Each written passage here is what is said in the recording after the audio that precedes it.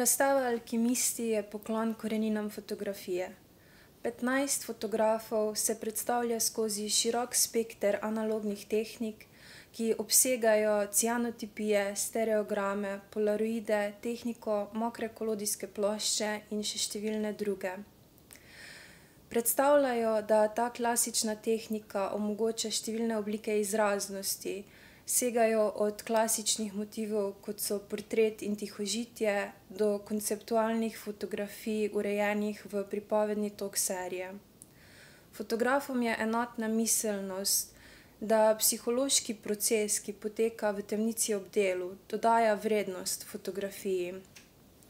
S tem se lahko postavljajo ob bok bolj klasičnim umetniškim formam, ki so jih umetniki izvajali s svojimi rokami in se zanašali na svojo spretnost ob izdelavi umetniškega izdelka.